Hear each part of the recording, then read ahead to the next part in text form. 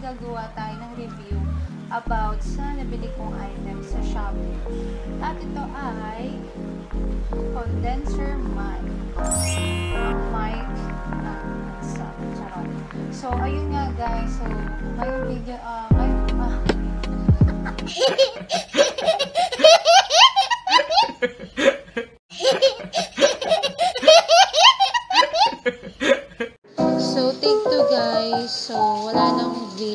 kasi na-delete ko na hindi sinasadya. So, ito, ikakabit natin yung V8 sound card, may condenser natin sa laptop.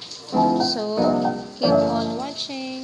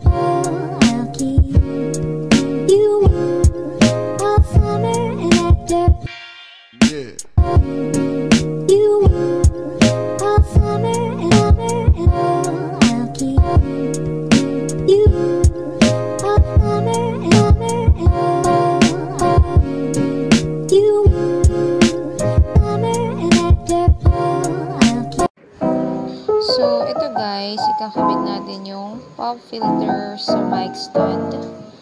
So, be careful lang kasi minsan parang medyo maluwag siya. So, handle with care lang.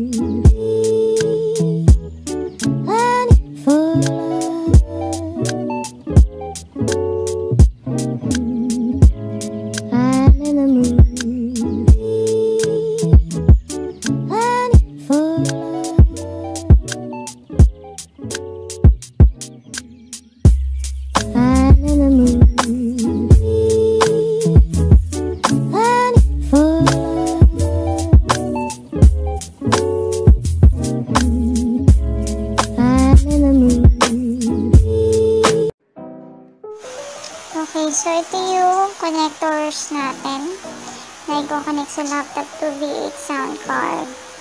Yan, gagamitin natin yan. So, yan siya. May 3mm for audio na isa sa laptop and USB cable para sa charging ng V8 sound card. So, makikita nyo maya-maya.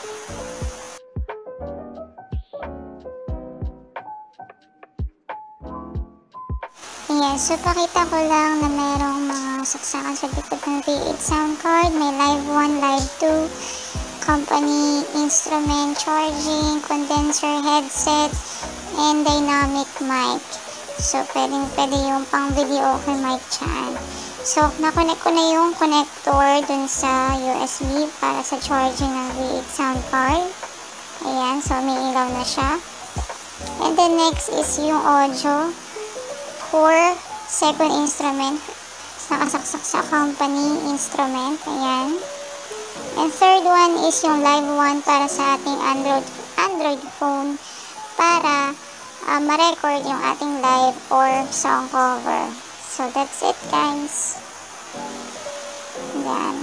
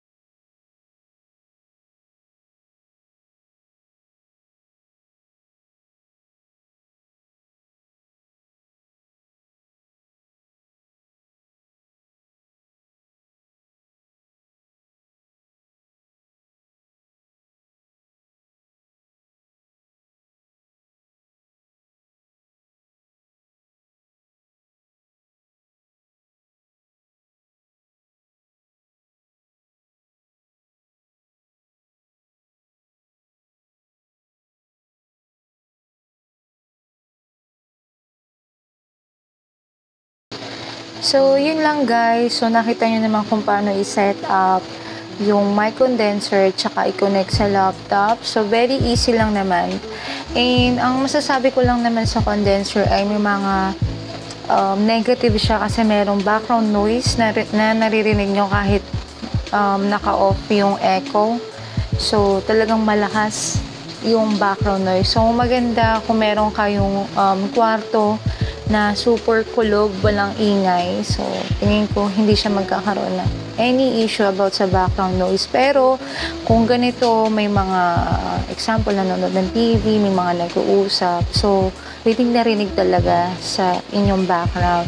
So, one of the uh, things na nakita ko sa about sa review sa condenser is may mga iba nag bumibili ng device uh, ibang device, separate device siya na kino-convert para malesen or ma-reduce yung background noise para pag kumakanta ka or nag-streaming ka or gum- gumagamit ka ng mic condenser, wala talagang ingay at maganda talagang iyong boses like a DJ, di ba? Nax. So, ayun lang naman guys. Maraming salamat sa inyong panonood. I hope nagustuhan yung aking video. And thank you so much. Merry Christmas and Happy New Year. Perfect. So, palakpakan. Uh, bago mag 2021 ay magkaroon tayo ng masaganang buhay at bagong taon. So, Happy, Happy New Year! So, see you on my next vlog. Bye!